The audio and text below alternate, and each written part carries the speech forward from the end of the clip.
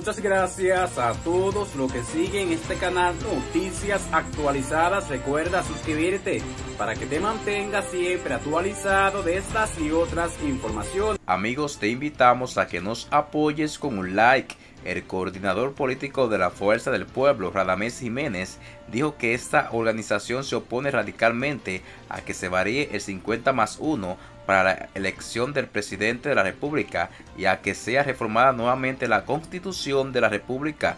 Las propuestas que hace el gobierno de reformas se pueden hacer perfectamente sin tener que tocar la Constitución, dijo al conversar con periodista. Manifestó que antes de hablar de reforma de la Constitución, considera que la más democrática, moderna y liberal de América Latina el gobierno debe concentrarse en resolver los grandes problemas de las clases más necesitadas del país. Gracias amigos por seguir esta noticia. Recuerda suscribirte, comparte este video. Nos veremos en una próxima noticia. Muchas gracias.